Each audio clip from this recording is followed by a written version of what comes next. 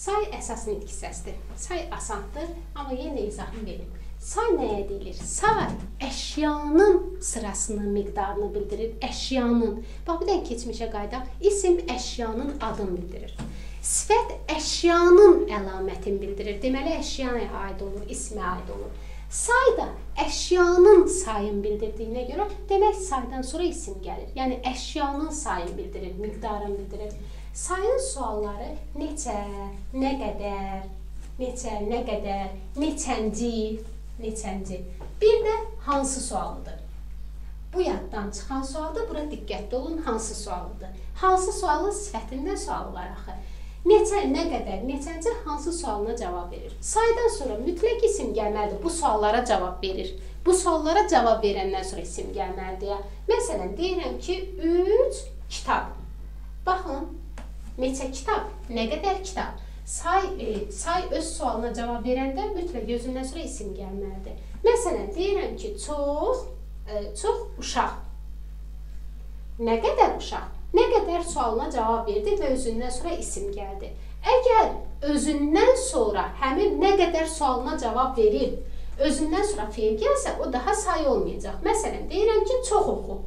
Nə qədər oxu? Nə qədər sualına cavab verdi. Sayın da sual var. Amma özündən sonra feil gəldiyinə görə bu artıq say yox, bu zərf olacaq. Yəni saydan sonra mütləq isim gəlməlidir ki, bu suallara cavab verəndə özündən sonra isim gəlməlidir.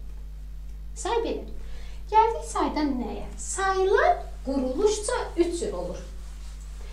Bu yeri gəlmişkən bir də bir şey beynimə gəldi onu deyim.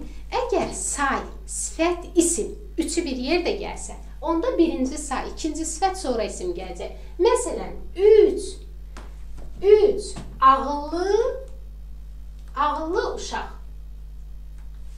Hansısa aiddir, indi öz-öz götürün. 3 ağıllı uşaq. 3 saydır. Ağıllı sifətdir. Uşaq isimdir. Yəni bizə versə ki, e, say, sifət isim birinci yerdə say gələcək, sonra sifət, sonra isim gələcək. Belə. İndi gəldik sayın quruluşca növlərinə. Say quruluşca üç cür olur. Ümumiyyətlə bütün əsas nitqsələr quruluşca üç cür olur, say da quruluşca üç cür olur. Sadə saylar bir kökdən ibarətdir, məsələn, az, çox.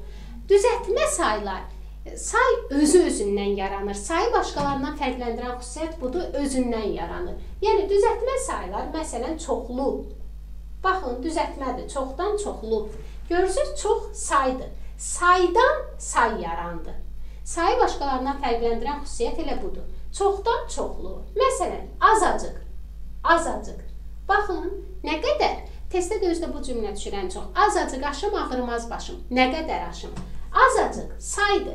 Az sayından yarandı. Görürsüz, saydan yenə say yarandı.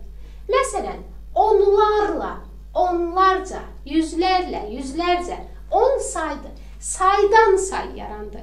Elə testdə düşür ki, sayla sifət oxşuyur bir-birinə. Yəni ə, e, oxşar xüsusiyyətləri odur ki, ə, e, sifətin də hansı sualı var, sayın da hansı sualı var. Saydan sonra isim gəlir, sifətdən sonra da isim gəlir. Say da cümlədə təyin olur, sifət də cümlədə təyin olur. Testdə düşür ki, bunların fərqi nədir? Fərqi odur ki, say özündən yaranır. Amma yəni kökü də sayılır, özü də sayılır. Amma sifət isə başqa nitqsələrindən yarana bilər. Belə bu düzəltməsə mürəkkəb saylar isə bir defislə yazılır, bir də ayrı yazılır. Məsələn 15 mürəkkəb saydır. Məsələn 3 4 3 4. Bu da mürəkkəb saydır, 2 saydır. Say e, bitişik yazılan say yoxdur. Məsələn, sifətdən fərqin biri budur ki, sifətlər mürəkkəb sifətlər bitişik yazılır ya defslə yazılır. Saylar isə baxın, ayrı yazılır ya da defslə yazılır. Bitişik yazılan mürəkkəb say yoxdur. Ayrı yazılana tərkibi say deyilir. Defslə yazılana əsl mürəkkəb say deyilir. Yəni ikisi də mürəkkəbdir, amma defslə yazılan əsl mürəkkəbdir, ayrı yazılan tərkibi olur. Bu say. Mən bir şey soruşacağam. Buyur, buyur. Mən qaçışdığım yer olacaq ki, məsələn 11-ci var idi. Hə. Onu düzəltmə götürür ya mürəkkəb? Mürəkkəb. Ona görə ki, baxın, 11-ci, 11-ci. Mənim neçə sayım var? 10, bir də 1. Ayrı yazıldı. Düzəltmə say ayrı yazılmaz. Bir sözdür və bir də olur orada şəkilçi. Düzə bu bir sözündən inci şəkilçisi var. Bu inci şəkilçisi olsa da axı bir dənə say deyil, burada 2 say var. Deməli bu mürəkkəbdir, çünki mürəkkəb saylar ayrı yazılır. Bu mürəkkəbdir. Yəni düzəltmə olsaydı bu söz bitişik olmalı idi. Belə, bu sayın quruluşsa növü. Demək, bir şey də qeyd edim ki, bayaqlar dedim ki, say özü özündən yaranır və say, yəni e, düzəltmə saylar sayın özündən yaranır. Amma 3-4 söz istisnadır ki, başqa nitq hissəsinin üstünə ıncı şəkildə artırmaqla say yaranır. Bu hansı sözlərdir? Əvvəl, axır, filan, son. Bunlar bu şəkil, bu e, bunların üzərinə ıncı şəkildə artırıb mən say yarada bilərəm. Əslində sayın özü də say olur, yəni ıncı şəkilçi sayın üzərinə artırılır. Amma baxın, əvvəl zərfdir. Əvvəlinci deyir, deyirəm, əvvəl zərfdən ıncı şəkilçisi yarandı, yəni bu say yarandı da. Incı şəkilçisini artırdım, say yarandı. Axır, qoşum axırıncı. Axırıncı hansı test? Axırıncı test çətin idi. Hansı test? Say yarandı sonuncu, filanıncı. Yəni deməyim odur ki, əslində saylar özü özündən yaranırdı da. Məsələn, bir dənə misal deyək, tutaq ki, 5-ci. Baxın, özü özündən yaranır da say. Amma əvvəl, axır, filan, sos, son sözlərinə ıncı şəkildə artırıb yenə say yaratmaq olar. Yəni desək ki, yalnız özündən yaranır, axı istisnamız var, deməli 4 dənəsi sayı yox, başqa nitq hissəsindən say yaranır. Belə. Mənaca növünə. Sayın mənaca iki növ vardır. Bir, miqdar sayı, miqdar. Bir də ki, sıra sayı. Sual verəndə ki, sayın mənaca neçə növ var? Avtomatik cavab verirlər. Müəyyən, qeyri-müəyyən, kəsir. Bu səhvdir. Sayın mənaca iki növ var. Miqdar, sıra. Miqdarın özü 3 yerə bölünür. Yəni 3 deyə balası var. Müəyyən miqdar sayı, qeyri-müəyyən miqdar sayı, bir də e, kəsir sayı kəsir.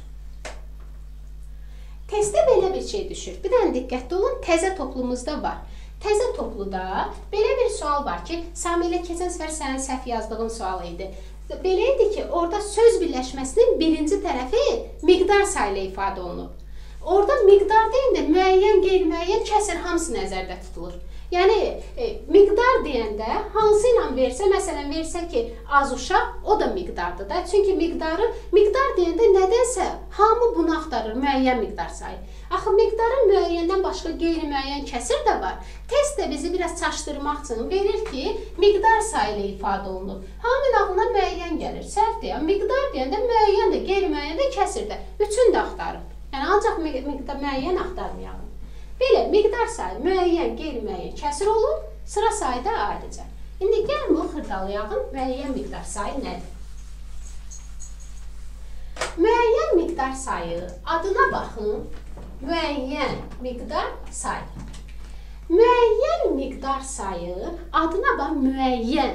Yəni say sayın miqdarı müəyyəndir. Bunun sualı neçə, nə qədərdir? Biraz suallar yaddan çıxır, suallara diqqətli olun. Müəyyən miqdar sayı neçə, nə qədər sualına cavab verir. Adından görsənir, sayı müəyyəndir.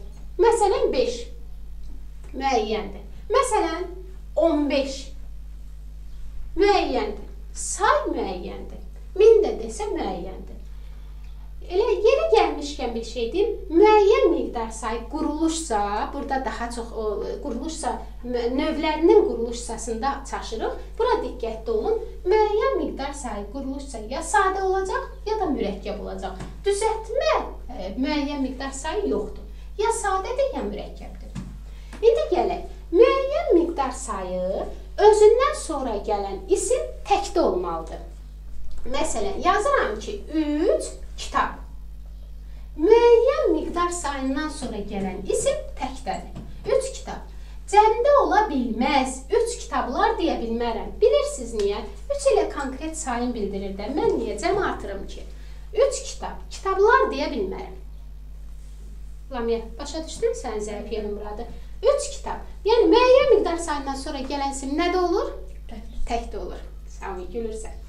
Deməli, Bir bəzən, bəzən o e, mə e, Samir dedin özünə. Miqdar sayından sonra gələn isim təkdə olur, amma bəzən cəm şəkilçisi qəbul edə bilir. O da hansı sözlər gələndə il, əsir, qərinə, bunlar testdə düşən sözlərdir. Əgər il, əsir, qərinə bu müəyyən miqdar sayından sonra bu sözlər gələrsə, onda cəmlənə bilər. Yəni cəm qəbul edə bilər. Bilirsiniz nə demək istədim? Tutaq ki, yazır ki, mənə 1000 illər Deyir ki, düzdür, düzdür, düzdür. Biz əslində deyirik ki, müəyyən miqdar sayından sonra gələn isim nədə olmalıdır? Təkdir. Amma e, il, əsl, qərinə, yəni zaman mənası bildirəndə onda cəmdə işlənə bilər, səhv deyil. Amma adi halda isə işlənəndə səhvdir, buna qrammatik normanın pozulması deyilir. Aydın oldu mu? E, keçdik nəyə? Keçdik numerativ sözə. Qeyri-müəyyən miqdar yox, müəyyəndən danışırıq. Müəyyən miqdar sayı ilə ismin arasında nominativ söz işlənə bilir. Baxdıq. Nominativ söz müəyyən miqdar sayı ismin arasında işlənir. Məsələn, deyirəm ki, məsələn, deyirəm ki 10 nəfər 10 nəfər adam. Baxın, müəyyən miqdar sayı ilə ismin arasında numerativ söz işlənir. O numerativ söz insan anlayışı da bildirir, e, cansız əşya da bildirir, cütlük, qoşalıq da bildirir və s. Hansı numerativ sözlərim var? Nəfər, litr, sonra e, kiloqram, stəkan, damcı, e, sonra vaqon, maşın, dəstə və s. baş, göz və s. də mən numerativ sözlərim var. Bu numerativ sözlər bəziləri sırf numerativ söz bildirir. Bax burada nəfər sırf numerativ sözdür. Bəzi sözsə həm numerativ sözdür, ayrılıqda başqa nitq hissəsi işlənə bilər. Məsələn, deyirəm ki, bir maşın adam. Bir maşın adam. Bir saydır. Müəyyən miqdar saydır özdə. Müəyyən adam da isimdir. Müəyyən miqdar sayı ilə ismin arasında işlənən maşın sözü numerativ vəzifəsində işlənir. Bu numerativ sözdür. Əslində maşın ayrılıqda mənim maşınım qırmızıdır. Ayrılıqda isim kimi işlənir. Yəni bəzi sözlər var ki, sırf numerativ sözdür. Bəzi sözlər var ki, yerinə görə, yəni müəyyən miqdar saylı ismin arasında işlənəndə numerativ sözdür, ayrılıqda numerativ söz deyil. Məsələn, bax deyirəm ki, bir stəkan, bir stəkan su. Müəyyən miqdar saylı ismin arasında işləndi, burada stəkan numerativ sözdür. Ayrılıqda numerativ söz deyil. Qaşıq da elə. Bir qaşıq qan. Ayrılıqda qaşıq numerativ söz deyil. Bildikmi? Belə. Bir sözlərdə kəmiyyət fərqi deyilən bir şey var. Bura diqqətli olun, bu da unudulan yerdir sayda. Kəmiyyət fərqi. Kəmiyyət fərqi nədir? Yəni bax, 10 nəfər adam, konkret sayın bildiniz, 10. Desəm ki, 10 maşın adam Bu artıq 10 maşın, maşının içərisində çox adam var. Uje kəmiyyət fərqi yarandı. Yəni maşın kəmiyyət fərqi yaratdı. Sizə bir şey deyim, əgər sayından çoxluq bildirirsə, onda o numerativ söz kəmiyyət fərqi yaratdı. Bax deyirəm ki, e, bir gül. Bir gül bir dənədir. Deyirəm ki, bir dəstə gül.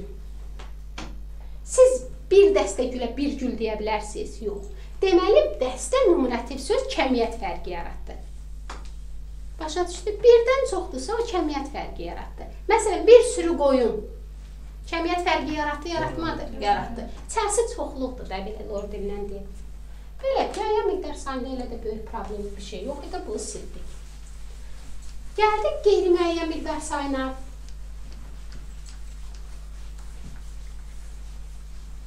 Qeyri-müəyyən miqdar sayı. Qeyri-müəyyən miqdar sayı, qeyri-müəyyən miqdar sayı. Adına baxın, qeyri-müəyyən. Yəni sayı qeyridir, dəqiq bilmirəm. Qeyridir. Sualın nə qədərdir? Da neçə demirəm ha, burada nə qədərdir? Çünki qeyri daxı bilmirəm. Məsələn, deyirəm ki, az. Deyirəm az test. Nə qədər? Dəqiq demədim ki. Deyirəm ki, çoxlu, çoxlu uşaq. Dəqiq demədim ki. Deyirəm ki, biraz. Biraz su ver, biraz su. Dem, dəqiq demədim ki, deməli qeyri-müəyyəndir.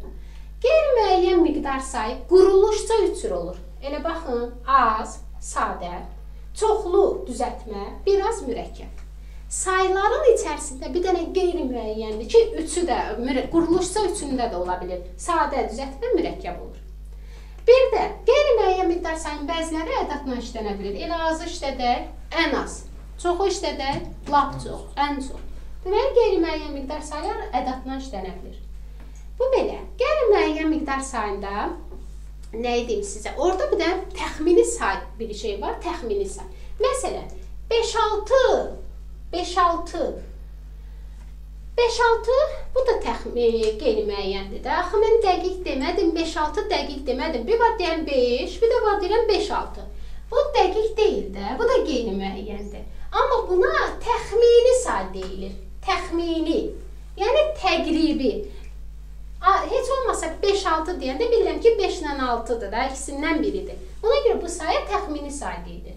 Qeyri-müəyyəndir ya. 5-6 da qeyri-müəyyəndir, çoxlu da qeyri-müəyyəndir. Amma çoxlunun konkret miqdarını bilmirəm, buna təxmini say deyə bilmərəm. Amma 5-6-nın heç olmasa biraz bilirəm ki, ya 5-dir, ya 6-dır. Ona görə buna təxmini say deyilir.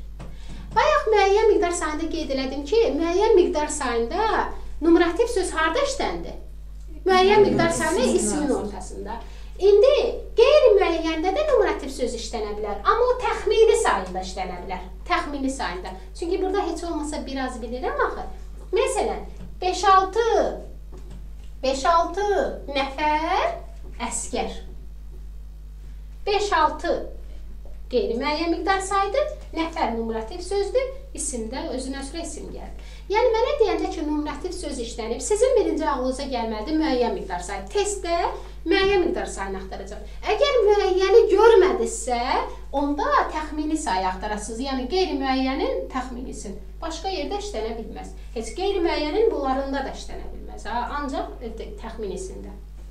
Belə quruluş isə üç cür oldu: sadə, düzəltmə, mürəkkəb. Sualı da nə qədərdir? Hə, təxmini sayın sualı isə buna neçə nə qədər deyə bilərsiniz. Axı az da olsa biraz sayın bilirik. Məsələn 5-6 nəfər əskər. Neçə əskər də deyə bilərsiniz, nə qədər əskər də deyə bilərsiniz. Buna amma sırf nə qədər deyəcəyik. Bu belə asantlı bu da getdi kəsir sayına. Kəsir sayı lap asantdır. Kəsir sayı. Kəsir sayı müəyyən miqdar sayının üstünə daha dəqiqlik al şəkilçi artırmaqla sual düzəlir və sualın nə qədərdir? Sayın onsuz da miqdarın bütün növlərində nə qədər var idi. Məsələn, 5-də 1. Gördünüz? 5 müəyyən miqdar sayın üstünə daha dəqiqlik al şəkilçini artırdım. Və həmişə ayrı yazıldığına görə bu iki say mütləq olduğuna görə bu mürəkkəb saydır. Yəni nə sadə ola bilmir, çünki kəsir sayında ən azı 2 say iştirak edir. Nə də düzəltmə ola bilmir. Deməli müəyyən miqdar sayı quruluşsa sadə, mürəkkəb oldu. Qeyri-müəyyən üçü də oldu. Sadə, düzəltmə, mürəkkəb. Kəsir isə yalnız mürəkkəb oldu. Çünki 2 say iştirak eləməlidir kəsir sayında. Da getdi. Gəldik sayın mənaca 2 növ var idi axı. Bu müəyyənidir, miqdarı dedik, gəldik sıraya. Hə, diqqətli olun, burada biraz suallar var. Sıra sayı yalnız ıncı şəkilçisinin köməyi ilə yaranır. Incı şəkilçisi. İncı şəkilçisinin köməyi ilə yaranırsa, demək bu söz mütləq düzəltmə olmalıdır, sadə ola bilməz. İncı şəkilçisi sualı neçənci, neçə incə artıracam da. Neçənci, neçənci. Bir də hansı sualına cavab verir. Lap əvvəldə yazmışdıq, sayın sualları hansıya bax, həmin hansı sualı sıra sayıda verə bilər. Hansı sualı burada neçənci və hansı ikisi bir-birinin sinonimidir. Incı ilə yarandığına görə bu düzəltmə bir də mürəkkəb ola bilər. Məsələn, birinci. İncı şəkilçisi var, qutardı, bu sıra sayıdır. Bir, birdən saydı axı, bu düzəltmə 11-ci, Saminin bayaq verdiyi sual, 11-ci. Samini unutmarsan da. 11-ci neçə say var burada? 10-dan 1, 2 say var, ayrı yazılıb. Deməli bu necə saydır? Mürəkkəb saydır. Bildikmi? Deməli, quruluşsa ya sadə, ya mürəkkəb olur. E, üzr istəyirəm, düzəltmə mürəkkəb olur. Sadə ola bilməz, çünki hıncı şəkilçisi ilə yaranır. Ha, e, belə, hansı sualda və bax, birinci sinif. Neçənci sinif də deyə bilərsən, hansı sinif də deyə bilərsən. Bu sıra sayı. Sıra sayından nə edim sizə? Sıra sayı Necə yazıla bilər? Hərflə yazılır. Sıra sayı ərəb rəqəmi ilə yazılır. Bizim riyaziyyatda istifadə etdiklərimiz ərəb rəqəmidir. Bura bax belə qoya bilərəm. Bu da birinci deməkdir. Bu da birinci deməkdir. Bu da birinci deməkdir. İnci və C yazacaq. Bir də ki, e, Rum rəqəmi. Bu da yoxdur indi. Belə yazılır. Belə. Yəni sıra sayı ya hərflə, ya belə yarım mötərizə, nöqtə, belə belə. Sıra sayı belə yazılır. Gəldik nəyə? Ən çox isimləşən sıra sayıdır. O isimləşmə dərsində deyəcəm. Gəldik nəyə? Gəldik bayaqlamaya dediyim suala qayıdaq ki, hansı saydan sonra e, isimlər təkdə və cəmdə olur? Keçdik bura. Burada e, sayları diqqətli olun. Mən deyəcəm və yadınızda qalacaq. Sıra sayından sonra gələn isim təkdə də işlənə bilər, cəmdə də. Misal üçün, misal üstündə deyə bilərsiniz. Baxın, birinci sinifdə deyə bilərsiniz. Birinci sinif gəldi. Və yaxud birinci siniflər də deyə bilərsiniz. Deməli, sıra sayından sonra gələn isim təkdə də ola bilər, cəmdə də ola bilər. Bu sıra sayı. Gəldik. Sonra bir çox, bir sıra. Bu təzə toplumumuzda var. Diqqətli olun. Bir çox, bir sıra. Sözlərindən bu saylarından sonra gələn isim həmişə cəmdə olur. Bir çox, bir sıra. Birləri yadınızda saxlayın. Bir çox, bir sıradan sonra gələn isim həmişə cəmdə olur. Və bunlar bir-birinin sinonimidir. Məsələn, deyirəm ki, bir çox məsələlər məsələlər qaranlıq qalmışdı. Bir çox məsələlər. Baxın, cəmdədir. Testdə belə verib, təzə topluda diqqətli olsaq, say dərsində belə verib. Bir çox məsəl verib ki, tutaq ki, belə bir şey verib, bir çox məsələlər. Sonra deyir ki, bir çoxun yerinə aşağıdakını hansını qoya bilərsiniz? Bir çoxun yerinə hansı sayı işlədə bilərəm? Bir çoxun yerinə bir sıranı işlədə bilərəm. Çünki bunlar sinonimdirlər. Belə, bir çox, bir sıra cəmdə olur. Hansılar həm tək, həm cəmdə olur? Çox, çoxlu, larla, bir də larca. Bu şəkilçidən sonra gələn isim həm tək bu bunlardan sonra gələn həm tək, həm cəmdə ola bilər. Məsələn, deyirəm ki, çoxlu uşaq. Və yaxud da deyə bilərəm ki, çoxlu uşaqlar. Həm tək, həm cəmdə ola bilər. Yerdə qalan bütün saylardan sonra gələn simlər təkdədir. Yerdə qalan. Bax, bir dənə bunları əzbərləsək. Yerdə qalanların hamısı təkdədir. Yerdə qalan məsələn testdən çox xeyli verir. Xeyli e, xeyli nə deyək, kitab. Baxın, təkdədir. Az, uşaq. Baxın, təkdədir. Nə qədər istəsiz yaza bilərəm. Yerdə qalan sayların hamısı təkdə olur. Demək, bir dənə diqqətli olaq. Sıra sayından sonra gələn isim təkdədir, həm cəmdə. Bir çox, bir sıradan sonra gələn isim. Bir çox, bir sıradan sonra. Ancaq cəmdə. Sonra çox, çoxlu, larla, larca. Həm həm cəmdə. Yerdə qalan bütün saylar isə təkdədir. Bu qədər asan.